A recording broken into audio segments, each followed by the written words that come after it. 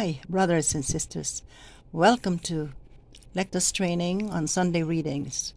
Today we will prepare for the readings of July 9, the 14th Sunday in Ordinary Time. Our references. Our reference books say that the first reading may sound familiar to you. It is because it is quoted in the processional gospel for Palm Sunday for year A and year C. This passage is part of a prophetic oracle, the purpose of which is to raise the spirit and give hope to a people oppressed and exploited by foreign powers. It announces the coming of a humble Messiah. To help you in your proclamation, it is suggested that you proclaim this reading with as much joy and hope as you can. If you can show these emotions in your eyes and facial expression, that would be great. Just don't overdo it. Stretch the word see, asking the people to look far to the future that is. Stress the words used to describe the king and the manner of his arrival these words. This is cold foal. Stress the word banish and uh, the following underlined words. This is bow.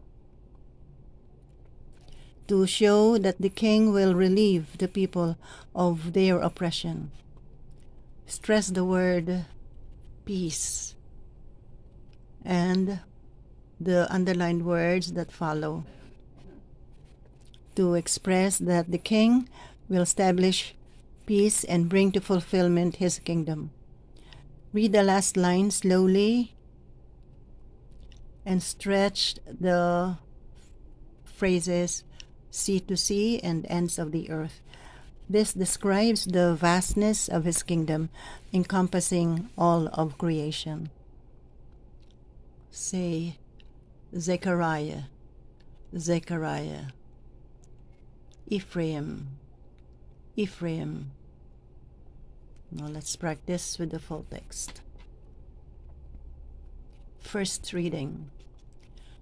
A reading from the book of the prophet Zechariah. Thus says the Lord Rejoice heartily, O daughter Zion. Shout for joy, O daughter Jerusalem. See, your king shall come to you. A just Savior is he, meek and riding on an ass, on a colt, the foal of an ass. He shall banish the chariot from Ephraim, and the horse from Jerusalem. The warrior's bow shall be banished, and he shall proclaim peace to the nations. His dominion shall be from sea to sea, and from the river to the ends of the earth. The word of the Lord. The responsorial psalm is a fervent prayer of praise for the greatness of the Lord and King, who is great and powerful, yet also gracious and merciful. I will praise your name forever, my King and my God. I will extol you, O my God and King and I will bless your name forever and ever. Every day will I bless you, and I will praise your name forever and ever.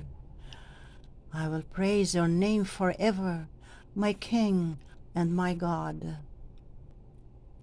The Lord is gracious and merciful, slow to anger and of great kindness. The Lord is good to all and compassionate toward all his works. I will praise your name forever, my King and my God. Let all your works give you thanks, O Lord, and let your faithful ones bless you. Let them discourse of the glory of your kingdom and speak of your might. I will praise your name forever, my King and my God. The Lord is faithful in all his words and holy in all his works. The Lord lifts up all who are falling and raises up all who are bowed down. I will praise your name forever, my King and my God. In the second reading, St. Paul explains the contrast between the flesh and the spirit.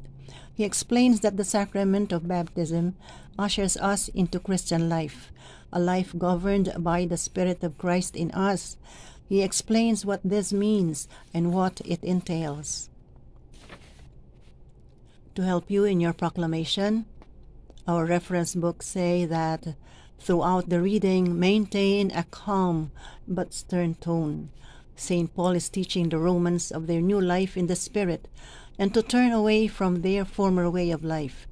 He distinguishes clearly between being in the flesh and being in the Spirit stress these words to make their differences clear. Emphasize the pronoun you, making eye contact with the people. Follow the commas or and or slashes. Then soften the tone of your voice to communicate the contrast of the spirit dwelling in the person who belongs to Christ. Everything is summed up in the last verse. Read it slowly, putting emphasis on flesh, you will die, and spirit, you will live. This is the essence of the reading. Please say, debtors. The B is not produced. Debtors. And uh, say the two S's as one. Now let's practice with the full text. Second reading. A reading from the letter of St. Paul to the Romans. Brothers and sisters, you are not in the flesh. On the contrary, you are in the Spirit if only the Spirit of God dwells in you. Whoever does not have the Spirit of Christ does not belong to him. If the Spirit of the one who raised Jesus from the dead dwells in you, the one who raised Christ from the dead will give life to your mortal bodies also, through his Spirit that dwells in you. Consequently, brothers and sisters, we are not debtors to the flesh, to live according to the flesh. For if you live according to the flesh, you will die. But if by the Spirit you put to death the deeds of the body, you will live the word of the Lord. From the Alleluia verse, we learn that the wisdom of God is not the wisdom of the Lord, of the world. In the wisdom of God, it is the small and humble who know the mysteries of the kingdom of God. Alleluia, Alleluia.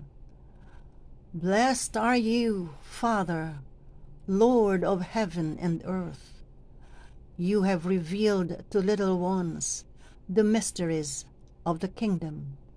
Alleluia. Alleluia. Thank you, brothers and sisters. Join me again next week for the readings of July 16, the 15th Sunday in Ordinary Time. Until then, goodbye and God bless you all. Again, thank you.